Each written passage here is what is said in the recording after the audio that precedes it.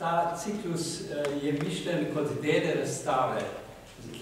To pa zaradi tega, ker gledam umetnost kot na nekaj živega, da morda razstave niti ne bi bila potrebna, pa bi bila priprava na razstavo lahko ravno tako vsebinsko bogata, recimo kot umetniško delo.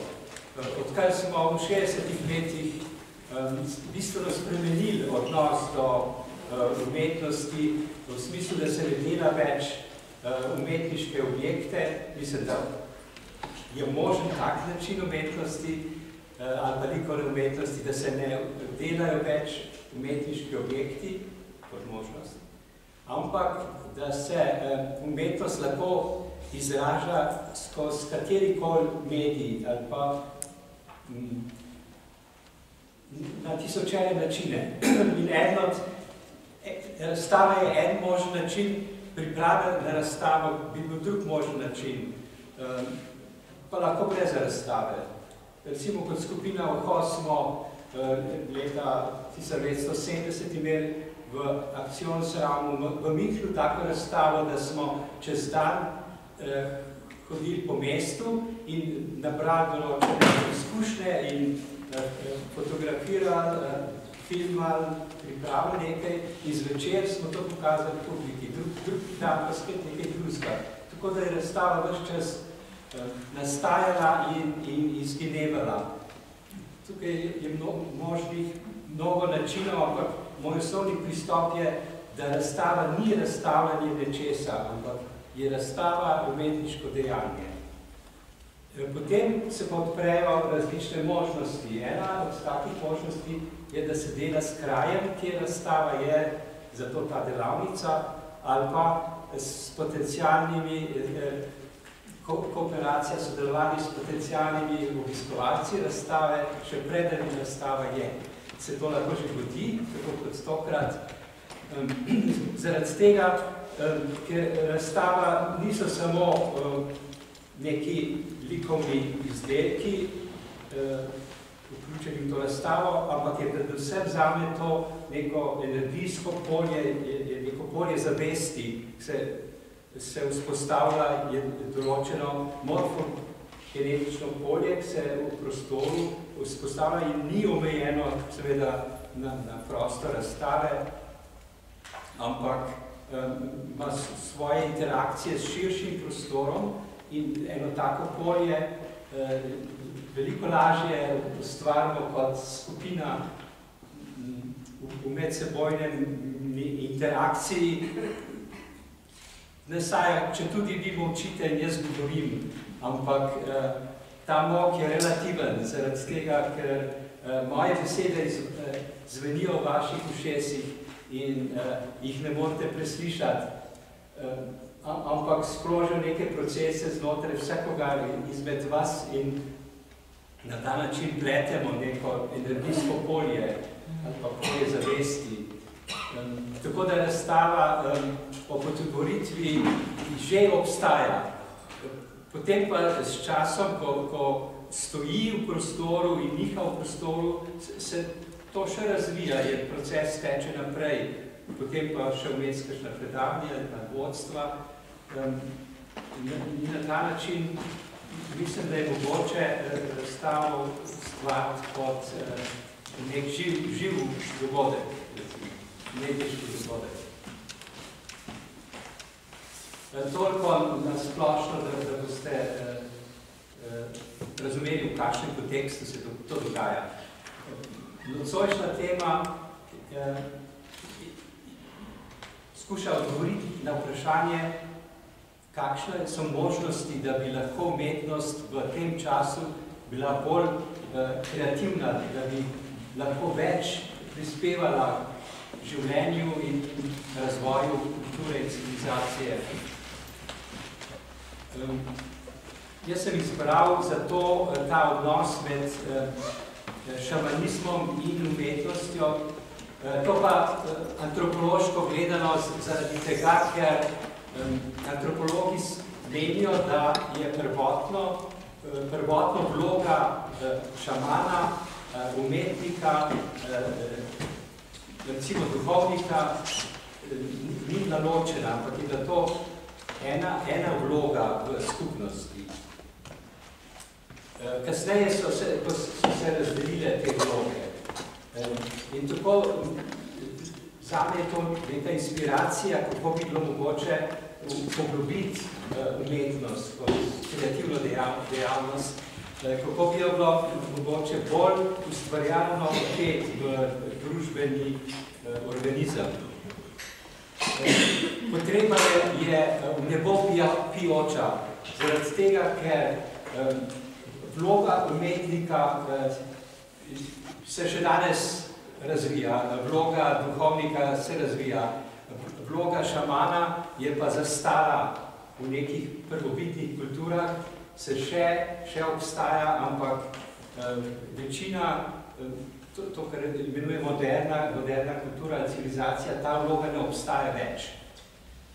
Zdaj pa vprašanje, je ta vloga potrebna, kaj je pomen razen zgodovinskega pomena šamanizma, nimo, kaj bi bil pomen take, take ustvarjalnosti. Jaz mislim, da je taka vloga v civilizaciji nujno potrebna, zaradi tega, ker je šaman tista vloga, ki povezuje človeško družbo z drugimi razsežnostmi, o katerih sem govoril zadnje dva dneva, torej z nevidnimi svetovi in pa svetovi za svetovi in svetovi, ki so za svetovi, ki so za svetovi in tako naprej do devete dežele. Vsi ti svetovi in te razsežnosti niso samo neke pravnične razsežnosti, ampak so ozadje življenja, ozadja, iz katerih življenje črpa življenje, ne samo življenjske sile, ampak tudi navdihi in pa možnost svojega nadaljnjega razvoja, pa tudi zdravljenje prihaja od tam. Aha, seveda, pozabil sem pri tisti izvirni vlogi, sem vedel, da sem pozabil še en element, in to je element zdravitelja. Zaprav, zdravitelj, umetnik, šaman in duhovnik. Te vloge niso bile v začetku razdeljene, je bila to ena celovita vloga. Zato je prav, da se, da se neke vloge v družbi individualizirajo. Si pa tako? Ja, kakva je razlika med duhovnikom in šamanom? Prosim? Razlika med duhovnikom in šamanom. Ja, mogoče bi moral reči obredni voditelj ali nekaj tacka, da bi bilo bolj. Torej, tisti, ki skrbi, tisti, ki skrbi, da, da tečejo ciklični obredi in da, da skupnost zmeraj znova se v nekih ritmičnih razdaljah posveča različnim vsebinam. Duhovnik v smislu duha, da skrbi za duhovno življenje, recimo, neke skupnosti. Ne v religioznem smislu.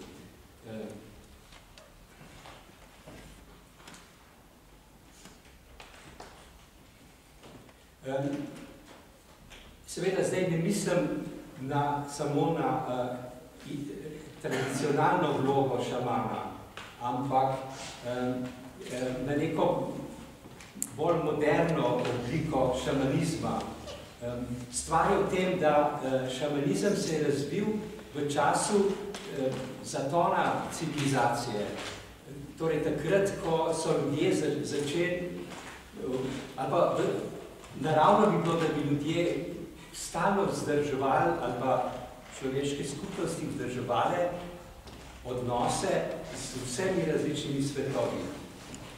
Ampak s časoma, ko, ko smo kot ljudje zmerno bolj odraščali, se individualizirali in razvili svoje lastno logično mišljenje, je, so samo določeni ljudje še naprej ohranjali to sposobnost komuniciranja z, z notranjimi svetovi zemlje, s eh, kozmičnimi svetovi, svetovi živali, eh, rastlin in tako naprej. Eh, to se, takrat se je razvila ta posebna vloga šamana.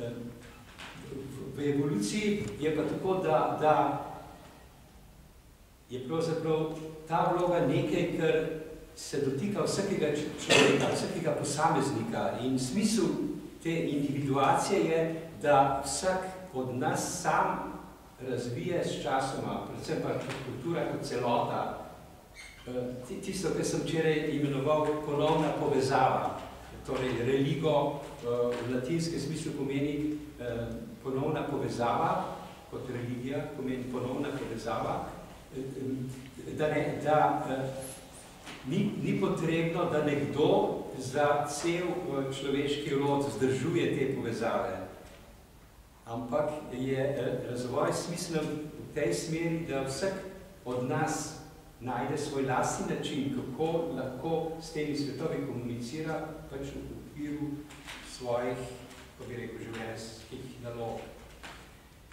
Ampak mi smo, smo zdaj na poti eh, šele do tega, do te stopne. In eh, trenutno smo v dobi pozabljenja, popolnega pozabljenja. Eh, te svetovi kot da za nas ne, ne obstajajo, kot da od živali ne moramo pričakovati da bomo iz, od njih izvedeli skrivnosti eh, eh, o, o svo, usodi našega osebnega življenja ali pa da bomo izvedeli neke skrivnosti o vesolju in eh, o, eh, o zadnjih bivanja. Eh, na živali gledamo kot na eh, utelešena, izključno utelešena bitja in tako tudi z njimi ravnamo. Ampak šamanistične prakse eh, davnih kultur kažejo, da, da so ljudje stik z živalmi vzdrževali kot neke vrste komunikacijo z neko visoko kozmično zavestjo, ki jo živali utelešajo, kot sem včeraj rekel, v smislu um, živalskega kroga, to se pravi zodjaka, v smislu utelešenja določenih kozmičnih kvalitet. In ljudje so v interakciji z živalmi na teh nivojih, ne na materialni ravni, seveda izhajajoč z materialne ravni, eh, je znanje šamana vodi potem eh, človeka onkraj utelešne eh, živali v, tiste, v smeri tistega arhetipa, odkoder lahko prinese neko vedenje o tem, le primer o človeku, ki je zbolel in z njim sile potrebne za zdravljenje. Tako da bi lahko razumeli to vlogo v tem smislu uh, med, medijacije med človeškim rodom in drugimi uh, paralelnimi svetovi in evolucijami. Ampak ker, ker smo, uh, kot rečeno, v tem času prehoda Um, ko smo pozabili ta klasičen pri, pristop, uh, šamanističen pristop, uh, smo ga izrinili iz naše družbene strukture, kot da je nekaj, kar pripada preteklosti in kar je nepotrebno. Um, zaradi tega mislim, da, um, da je, obstaja možnost, da umetnost, da se v vlogi umetnika v okviru vloge umetnika razvije eh, tudi tisto, kar mi kot šamanizem ne poznamo več. Eh, to pa zaradi tega, ker je umetnik eh, ali pa umetnost, bom rajši rekel, ker zdaj ne mislim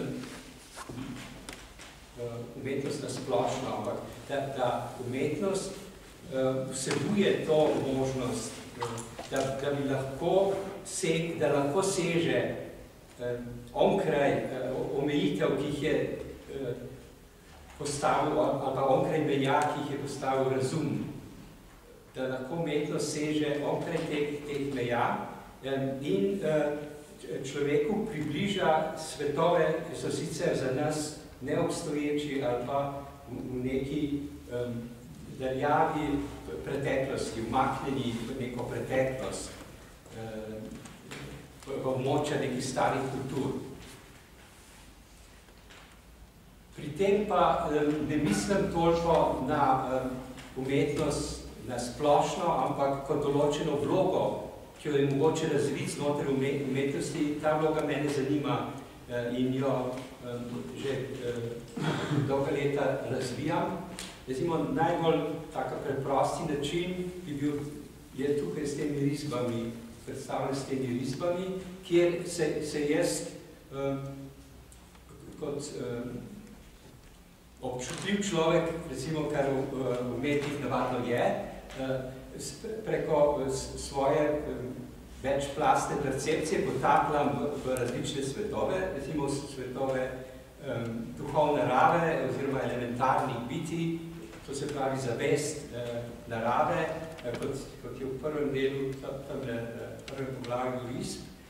Um, in, in od tam prinesem določene slike, tako da in te slike uh, kot na umetniški način, torej ne kot um, nekakšno um, kopijo tega, kar sem videl, ampak prenašam potem, oziroma prevajam v umetniški jezik. Tukaj vstopa eh, moderna klasika s svojim znanjem, kako se da neke um, abstraktne prostore prevajati v like, v, likovno, v likovni jezik. T tako da um, tukaj stopa potem mo moja lastna raziskava uh, energijskih pol in kako se je mogoče, naprimer s črto, um, z določenim zavojem črte um, ustvarjati različne vibracije, vibracijske kvalitete, tako kot se struna napenja na določen način, eh, zato da zazveni v določen tonut, tako se črta uvija in s, s tem krivljenjem ali pa Eh, skoti ustvarja eh, različne vibracijske kvalitete. To pomeni, da se ne prenaša nekih slik, ki jih jaz vidim neposredno v vidno polje, ampak je vmes umetniško, torej kreativno dejanje, ko je z te slike ali te izkušnje prevedem na tak način, da niso samo podoba, ampak da so navzočnost tistega, kar predstavljajo. Tako da pride do resonance. To, to vse temelji na resonanci. Jaz moram ustvariti rizmo na tak način, da um, vibracijska struktura uh, niha na tak način, da je tisto bitje uh, v, v sozvočju, to se v resonanci in je na ta način navzoče, če mi uspe. Mislim, mora biti tako biti. Eh, tukaj je, seveda, če bi nekdo drug ta bitja želel predstaviti na isti način, bi bila potem drugačna. Bi bila ta bitja drugačna zaradi tega, ker bi prav gotovo na drugačen način prevedel nekaj, kar je nevidno in nima oblike. Ker če, če se jaz povežem recimo z bitjem reke, kot je tam so, so bitja se, sejne iz moje knjige v Parizu, ki sem lansko leto izdal, ko se jaz eh, povežem s temi, s temi bitji, eh, one nimajo oblike, ampak imajo določeno vsebino, ker to so bitja zemljine zavesti, imajo določeno vlogo v življenju, določeno nalogo, potem pa določeno individualno bistvo. In to bistvo je neke energijske narave, ker vsa bitja, ki niso materializirana, niso vezana na zunanje oblike, ampak eh, so večdimenzionalna. To, to pomeni, da so pravzaprav taka, kako jih človek je sposoben videti in prevesti. Ona so srečna, ker potem dobijo telo. To, to je v osnovi tega, to, to je neka šamanistična nit, eh, se reče skozi takšno umetnost, da ta bitja eh, niso portretirana, ampak kot oblika ne obstajajo, ampak dobijo obliko in na ta način nekakšno pravico do sobivanja. Danes, dokler te oblike nimajo, sobivanja ni. Zadnje obdobje, ko je to sobivanje bilo med kulturo, recimo elementarnimi biti, je bilo v srednjem veku. Zato se še danes pokažejo škratje v, v tipični srednjeveški eh, noši. To niso škratovske čepice, take čepice so odnosili v srednjem veku eh, ljudje. In oni še zmeraj mislijo, da smo mi od takrat ni bilo več ljudi, bi z njimi komunicirali. In zaradi tega oni mislijo, da bomo mi njih prepoznali kot naše, eh, eh, kako bi rekel, sorodnike, eh, sorodna bitja, ki se bojo pokazali v srednjeveški obleki, ali pa tako, kot eh, so se ohranili v, v pravnicah, so se, pa in mitih so se ohranili v določenih oblikah. Ampak tiste oblike niso realno njihove oblike, ampak so, so določen prevod. Recimo, jaz pravim, da vile imajo zaradi tega krila, ker hočejo povedati, da so one zavest eh, elementa zraka in da imajo upravka s ciklusi, to se pravi z gibanjem, ampak to gibanje ni po zemlji, ampak je pravzaprav po zraku, ker, ker so to ciklusi, eh, časovni eh, ciklusi in je to jezik, ampak nimajo take krila kot angeli, angeli imajo pernata krila in en, en, kot ptice, zato ker letajo više. Medtem, ko vide imajo dvojna krila, tako kot metulji, ker hočejo reči, mi smo tista bitja, ki niso od zgore, tako kot angeli, ampak smo tista bitja, ki so blizu narave in letajo okrog cvetlic. Ne, to, to je natančen jezik. Um, so ga te davne kulture oblikovale in, in ga še zmeraj lahko uporabljajo te svetovi. Izziv uh, tega trenutka je, da, da, se, da mi razvijemo nek jezik, ki bi, ki bi bil bliže njihovi resničnosti. Ker on je pravzaprav ta bitja, da bi se na zadnje, v zadnjem času, ko so bila še prepoznana, so skušala se pokazati človeku bližna, da bi povedala, mi smo tako kot vi, neka zavestna bitja, v svoje nalogo v življenju. Niso, niso pa imeli več pravico, da bi se pokazala kot taka, kot ona, ali pa bliže temu, kot ona so. Ker v bistvu so to neki energijski vrtinci, v katerih je vsebovana določena zavest, je tudi na nek način individualna narave in je hkrati tudi del ene velike celote, ki rečemo zavest, kaj je ali, ali zemlje. In tako se odpira eh, s, s pomočjo eh, orodij, eh, recimo moderne umetnosti, se, se odpirajo neke nove možnosti, kako lahko spostavimo most do teh, do teh paralelnih svetov, v smislu prevoda. Recimo Kandinski je začel uh, že pri tem delati, uh, gospodinja v Moskvi, naprimer, uh, prikazuje ledečo žensko, ampak iz glave gre pa tako vlak z nekimi abstraktnimi liki, s čimer je hotel, hotel povedati, aha, to ni samo ta oseba, ampak ta oseba je, je tudi misleča oseba. Ta, ta oseba ima neke um, občutke, neke misli. Razumete, um, moderna umetnost, kot se že omenil v zvezi z impresionizmom, v bistvu moderne umetnosti je razvit jezik, uh, s pomočjo katerega bi mi lahko določene abstraktne zadeve odnose, kvalitete, recimo, so v prostoru, da bi jih lahko jim dali obliko, jih na nek način utelesili. To, to je sto let in več truda oblikovati tak jezik, ki, ki je natančno profiliran, je, je mnogo možnosti, vsi ti izmi so različne možnosti, kako se da Eh, neke abstraktne, eh, duhovne ali pa ideje prevesti v, v oblike. Zato, zato ta povezava ampak to, ni, to je izrazito individualen jezik, to, to hočem reči, ne, ki ga je razvila moderna umetnost, če, če nima umetnik nekega individualnega jezika, ga, ga noben niti ne pogleda. Uh, uh, to je postavil nekakšen kriterij uh, v, v sodobni umetnosti.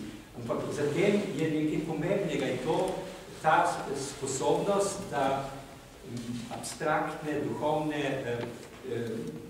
magari samo vibracije, take zadeve pre, se naučimo prevajati v oblike in na ta način, tukaj, tukaj jaz vključim ta ša, šamanistični moment, na ta način ta, isti, ta ista metoda se lahko potem uporablja za to, da, da bi ta kultura, v kateri živimo, ponovno vzpostavlja stike s temi drugimi razsežnostmi in svetovi, brez da bi morali iti v retrogradne procese, to se pravi nazaj, tja, kjer so davne kulture te stike že imele, magari preko šamanov. Tako da v bistvu niti ne govorimo več. Jaz sebe ne bi imenoval šamana, čeprav veliko krat ko sem v nekem kraju in, in ne vem, kje so problemi tega kraja, ker, ker pripravljam neko delavnico s krajem in pride veverica uh, in, in eh, jaz dirkam za njo in ona uh, mi, mi kaže, kje so te, te kraje. Jaz seveda stojim tam nekje na mestu, dirkam za njo, ker včasih so to ptice in moram hitro leteti. In, in, in, in tam, kjer se dotaknejo s klunom, recimo mi, mi pokažejo, ampak, ampak to je jezik. Ne? Ptice potem jaz niti ne vidim več, jaz, jaz grem sen z njo naprej. Um, tako recimo, kar za, za soboto pripravljam, je glavnem tista bela ulica iz, iz grba Maribora, uh, se spušča iz kozmosa na zemljo, če ste kdaj videli grb Maribora.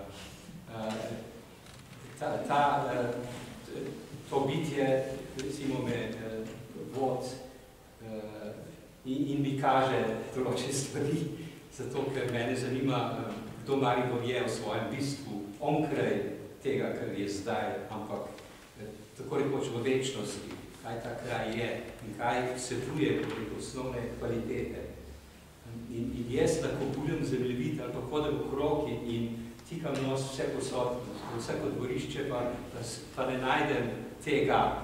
Um, ampak vidim to, to belo ptico, ki se spušča, pikira naravnost, eh, tako kot eh, pri klonski čakri naravnost, z neba, da se dotakne zemlje eh, in, in to je, jaz sem zmeraj že eh, fan tega eh, grba Maribora in Gorje, si slišal nekaj, kot da hočete ga spreminjati.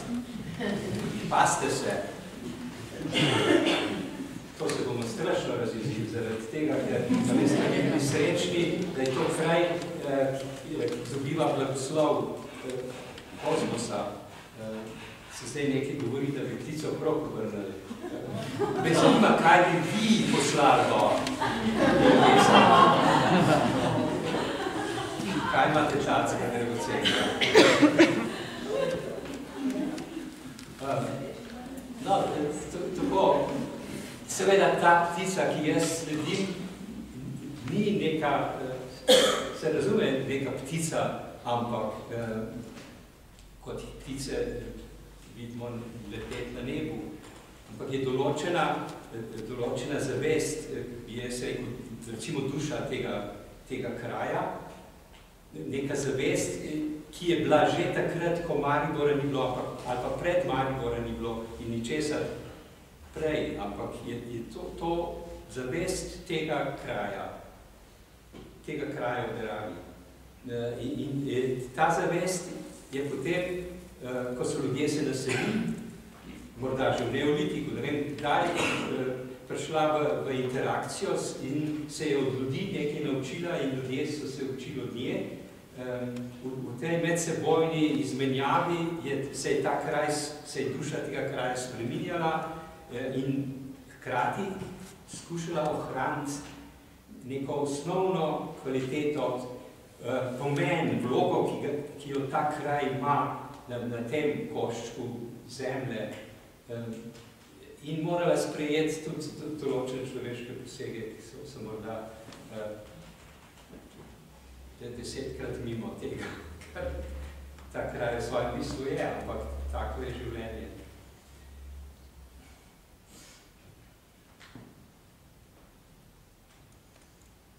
Pa sem te, te dni um, pripovedoval, ne verjamem, da probleme, v katere smo zašli kot civilizacija, lahko rešimo na nivoju, na katerem se zdaj vrtimo. Mi se kot civilizacija vrtimo v krogu, zaradi tega, ker smo se v nekem trenutku, in ta trenutek je mogoče bil pred 2000 leti že, smo se odločili, da, da se bomo gibali Eh, da se zmeri bolj se koncentriramo samo na eno raven bivanja, to je tista, ki je eh, logično eh, razumljiva raven in, in pravzaprav vse, vse, kar je okrog nas, prevajamo v logične zveze. Tisto, kar pa ne moramo prevesti, pa izločimo iz, iz civilizacijskega tkiva kot neobstoječe. In na ta način eh, smo mi eh, bolj razvijamo eh, razum in bolj se poglabljamo v finese materialnega sveta, bolj zgubljamo stik s celoto in, in, in bolj rinemo v slepo ulico.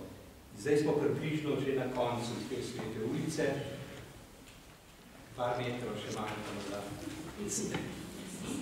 Eh, ker, ker pritiskamo kot civilizacija, zmeraj bolj pritiskamo proti tem mrtvemu kotu.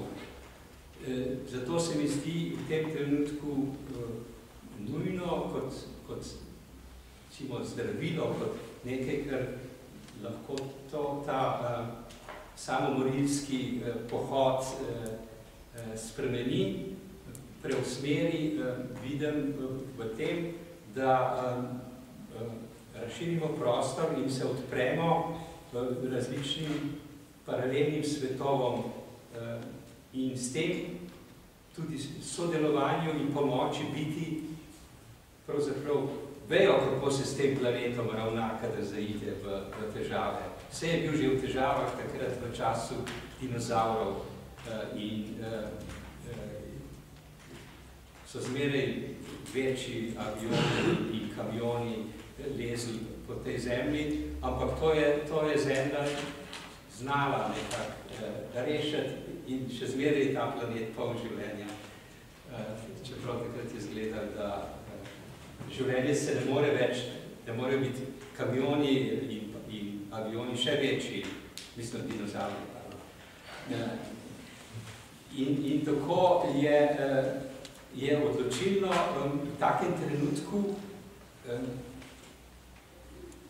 ko se evolucija znajde v, v nekem mrtvem kotu, da, da se prostor, to, ker, ker je zmeri, tako je zmeri ne, se je treba najti načine, kako razpreti eh, kot in, in najti nove eh, možnosti tam, kjer življenje, kjer je življenje dovolj močno.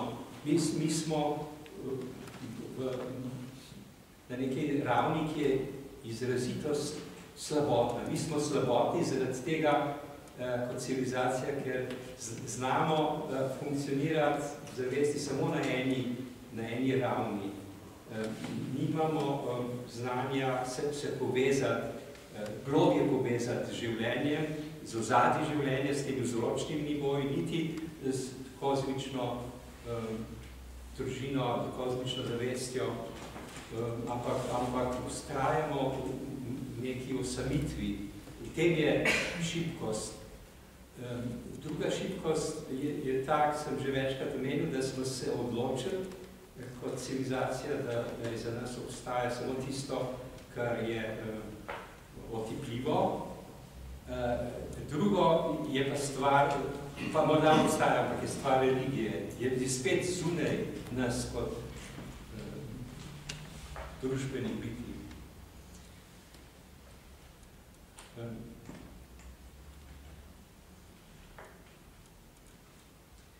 In jaz sem se dolgo, dolgo časa eh, upiral temu, da bi sploh uporabljal ta termin šamanizma ampak potem sem videl, da je to nekaj, kar, kar je um, postalo razumljivo um, kot, kot nekaj smiselnega, da ni samo romantika, ampak da, da se mnogo, mnogi ljudje, ki iščejo, se povezujejo z raznimi šamanističnimi kulturami, zaradi tega, ker, ker slutijo, da, da je um, tukaj neka pomemben izhod iz, iz um, oskosti, v katero smo zašli, namreč v stiku z, z različnimi svetovi, paralelnimi ali pa sinhronimi svetovi.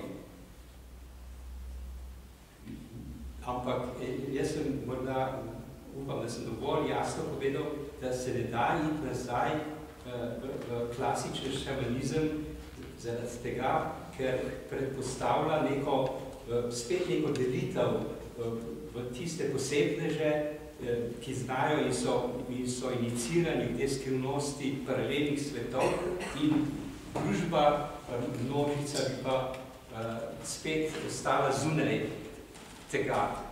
Mislim, da, da smo preveč odrasli znotraj, da bi lahko šli nazaj. Ker to, to je spet neka hierarhična struktura in hierarhija je star princip, kako so, je družba urejena. Nas zanima demokracija v tistem resničnem smislu te besede, In ta, ta pomeni, da je vsak človek ima dostop do teh svetov, pač na svoj način.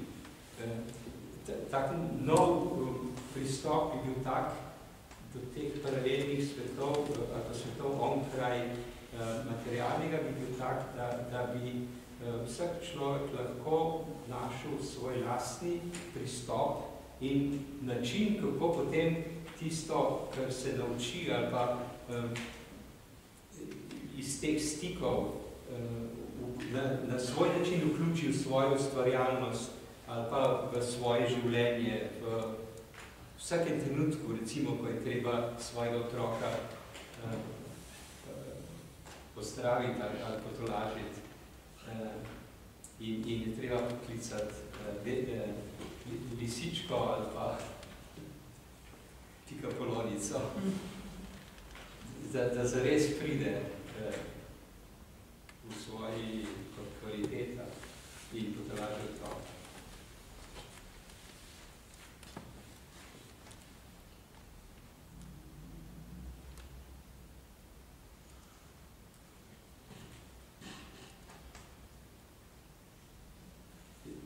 Zdaj, jaz se ne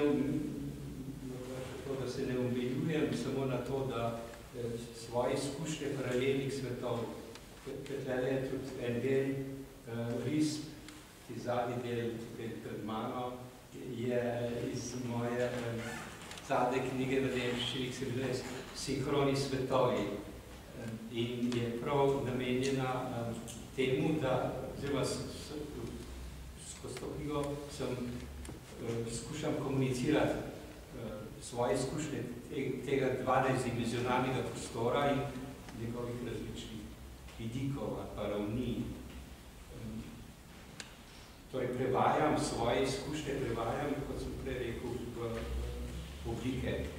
Drug način je, kot je pri tej instalaciji tukaj v Viteški dvorani, je, je pa ta, da, da um, skušam um, ustvariti tak prostor, da um, kot ambient, da, da ko človek stopi noter, da, da se lahko zaveda je stopu v neke, neko drugo razsežnost. In na ta način dobi izkušnjo, ki jo sicer ne bi mogel, čeprav so taki prostori, tudi v mestu so, ampak, ampak so prekriti z, z neko folijo, masovne zavesti, ki jih zmerom gleda od zunaj in zaradi tega nekako zatolče, tako da se tisti kvalitet ne da doživeti um, zares, razen če se človek res temu posveti, da, da uh, se te kvalitete odprejo. V umetnosti pa vidim možnost, da se take svetove kot na nekem, v obliki nekega modela vzpostavi, ker jezik umetnosti to omogoča, da se vzpostavi tak model in tako kot človek stopi v tak modelni prostor, je pravzaprav tako, kot da bi stopil tisto neke druge razsežnosti, druge dimenzije. Zaradi tega, ker je način, kako je proporcij, kako je uporabljen ta posebni jezik kozmogramov, torej kako je prostor oblikovan na različnih nivojih, potem omogoča tako doživetje. To, to bi bil način, včasih v, v šamanističnih kulturah se temu rekli iniciacija. Se pravi, ko je bil človek eh, mladenič ali pa mladenka stara toliko in toliko let, so jo peljali določen kraj, kjer je bila mogoče en teden eh, s svojimi vrstnicami, eh, ali pa je bil to dolmen, eh, kjer eh, je zaradi postavitev tega kam, teh kamnov, eh, so, je bil ustvarjen tak poseben prostor, da bi bili rituali, skozi tega so ljudje eh, lahko doživeli take razsežnosti. Tega to ne obstaja več. Eh, dokler je bila Titova Jugoslavija, smo vsaj kot pionirčki dobili rutice in take, tako inicijacije še godile množične, množične inicijacije. Spomin na nekdanje množične inicijacije. Ampak eh, te, to, to ne obstaja več. Zato vidim, vidim pa umetnosti možnost, da, da smemo ustvarjati take prostore in na ta način omogočiti človeku, da eh, doživi nekaj, kar se sicer v običajnem tkivu življenja ne more eh, doživeti.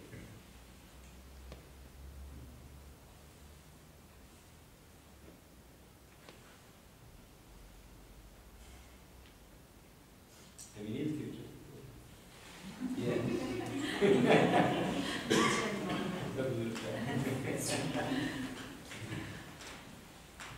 A sem bil dovolj jasen?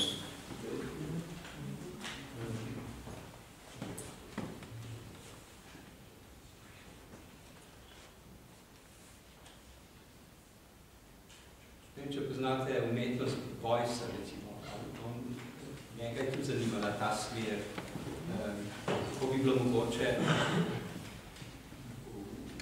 skozi umetnost človeka upeljati ali pa zbližati s temi paralelnimi svetovi.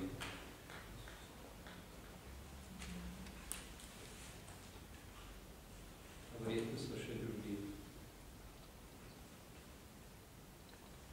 Ampak to ni nek poseben izem. To, to je um, eden, od, eden od smeri umetnosti, eh, kjer skušamo um, umetnosti najti eh, neko bolj ustvarjalno vlogo v življenju, kot je običajno.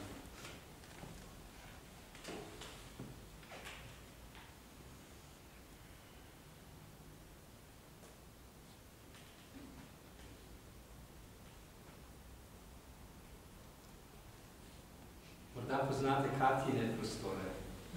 Kat, Katja ustvarja take prostore, kjer človek individualno lahko eh, doživlja določene kvalitete, so ustvarjeni na tak način, verjetno ste že kdaj to doživeli eh, pri njenih razstavah, tukaj Maribor. Eh, so, jaz sem to že doživel, eh, da, da človek, ko pride v tisti prostor, ja, da se znajde v nekem, nekem ambientu in v nekaj pove, oziroma se v njem človek nekaj zgodi, neka, neka notranje doživetja, notranje sprememba. Poznate Katja? Ona se tudi na svoj način ukvarja s tako umetnostjo, ki je odprta do teh eh, paralelnih svetov. Dobro. Ja, potem se vam zahvaljujem, da ste eh, nocoj spet prišli. Eh, jutri ni, nismo napovedali predavanje, zato ker obstaja možnost, da bomo morali delati pozno noč, ker, ker mora biti predstava končana. Je treba celo to hišo kot skoraj dol napolniti. Uh, tako da, da se, če želite, srečamo v soboto uh, na tej delavnici, uh, ker mislim, da se bo Maribor zelo veselil, če, bo, če bomo um, mu znali uh, pokazati neko gledalo uh, v tem smislu, da je, je skupina ljudi, se zanima za to, kako ta, ta prostor v resnici je. Reče, da, je, da ga nameravam dekodirati v celoti, ampak mislim, da se nasledi enega od pomembnih vidikov tega prostora. Enkrat, 2002 sem delavnico o tem, kako se uh, duša Maribora, uh, kakšno pot, uh, neko nekakšno stezo, uh, kako se lahko približa tam Ibiza med Kalvarijo in piramido čez mesti park um, do um, tega znamenja sem takrat uh, smo šli in sem skušal najti točke, ki jih uh, duša Maribora uh, uporablja, da se lahko še zmeri ima stik sred, središča mesta, čeprav je na nek način izrinjena iz zavesti in je, in je tako rekoč za hrbtom Maribora. Mora biti zaradi tega, ker, ker je prostor tako urbaniziran, da pravzaprav ne dovolj, lahko bila celotno prisotna in je, in je in večji del za hrbtom mesta. To, to je bila moja zadnja delavnica, ampak zdaj mislim, da, sem, da, da bom šel korak naprej. To je sobota. Pa se lepo pozdravljam. Ja, Ja, jaz bi se vam rad nahvalila, ker ste takrat leta 2002 bili v Valjevskem vrtcu na Valvazorjevi in smo delali tudi delavnico za tisto območje in v bistvu na vrt, našega vrtca. In moram reči, da nekako smo vsi čutili potem posledice te delavnice, da se tam zadeva zelo lepo razvija in da nekako tudi celi studenti se zelo uživljajo. Govorili smo v tem smislu, da je spodaj pri Jožefovem študentu najbolj ženska energija, ne? Tam, tam je Lin center, to se pravi Ljudski ja. center za Maribor. Se je Jožef vse dogovor zaradi kontrole.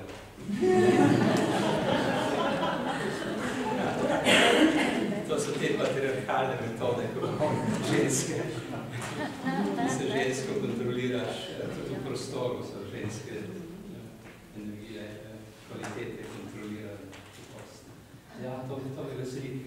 Sem ja, skoraj pozabil, ampak zdaj se spomnim. Zdaj mislim, da se to zadeva ja, nadaljuje še na nekak Ja, ja. širše. Ker ti, ti, ti sem se ukvarjal s tem Jožefom že v začetku 90-ih let, ker to so hude zadeve, če se take patriarhalne projekcije ravno na tak prostor bi najbolj moral biti uh, občutljivi in odprti in dajati prostoru neke fine ženske yin energije ne, in tja se uh, sede Ata Jožef.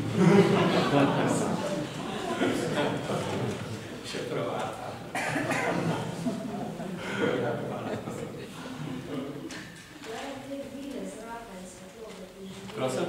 Na primer vile, ki živijo v nekem vrtu. Eh, Če začne drevje umirati, eh, prav mogoče ravno drvo, na katerem ta vila živela. Aha, potem je ta vila. Ja, sej, eh, sej ta bitja niso individua, individualizirana tako kot, kot mi. Ona, ona, recimo, če je gost, se, se pač pomikajo v gost prostor kot, kot um, organizem gozda potrebuje. Če je pa vrt, je pa že zelo človeško kontrolirana zadeva um, in um, če drevo umre, potem uh, potem je fajront, kako vi rečete. Torej, tam je srečen, da je svoje delo upravil in eh, se vrne nazaj v celoto, ker ta bitja eh, v šesti dimenziji, to se pravi v tem manifestiranem prostoru, njihov dom je pa v sedmi dimenziji. Tam je so njihovi bilinski svetovi. In v trenutku, ko niso več, je njihova služba končana, se oni vrnejo v to v svoj dom, si srečni, da spet srečne. da ne bo preveč govor. ne, res, to je največja sreča, vrniti se na naročje matere Gaje. Oni se vrnejo tja in, in uh, potem pa, um, ko nekje zavibrira nek zvonec, da je tukaj neko mlado drevo, jih kot, kot magnetično potegne tja v, službo. Uh, in oh, to, to je začetek nove uh, no, mnoga poglavja v, v njihovem ustvarjanju. Jaz imam še eno vprašanje, da smem. Danes je veliki četrtek, ne? Jutri je veliki petek in sobota in potem je spajenje. Kaj je v bistvu ta krščanska uh, praznovanje, v kakšni povezavi je z elementarnimi biti? Če lahko mogoče malo omenite, kaj se z elementarnimi biti in z vsem temi svetovi, kot vi imenujete, pravzaprav dogaja v teh dneh, ker vemo vsi, da v setveni podarek vse so piše nesajenja, nedoločene dejavnosti, to izhaja že iz starih tradicij, ki so povezane z zemljo. Ja, to je povezano s tem trojnim ciklusom boginje. To je boginja devica. Takrat, ko se življenje znova, znova začenja, to je čas vse, vse povezovanja, pravi, da povezovanje s kozmično celoto, z zemeljsko celoto. Na osnovi tega je potem mogoče, da, se razvije kreativni ciklus, ki je visoko poletje in zgodna jesen. Pomlad, pomlad je vstajenje, se, se, je vstajenje, to spravi, po zimi energije, življenje spi, je, je v času regeneracije in vstajenje je pomladanski praznik, ko, ko ne samo, da ponovno pridejo rastline na dan, ampak se celo to stvarstvo zemeljsko ponovno poveže. Prej je bilo obrneno vznoter, zdaj se pa obrneno vzven in se poveže z vsemi razsežnostmi in na osnovi tega je potem mogoče, da, da se kreativni ciklus razvija v visokem poletju. To je prevod v, v jezik neke, neke religije oziroma ja, neke kozmične inicijative.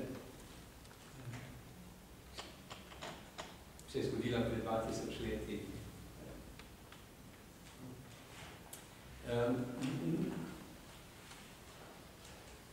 ni, ni dobro, da preveč uh, govorimo. Ne, ne bo ta, to je, to so, to je umetniško delo, mislim, smo dele umetniškega procesa um, in, in je prav, da ostane to kot ena enota, ne, ne da zdaj to preveč razpredemo.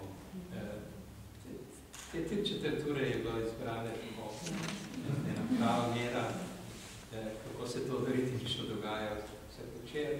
Zato se vam lepo zahvaljujem in uh, upam, da se bomo videli v soboto. Hvala.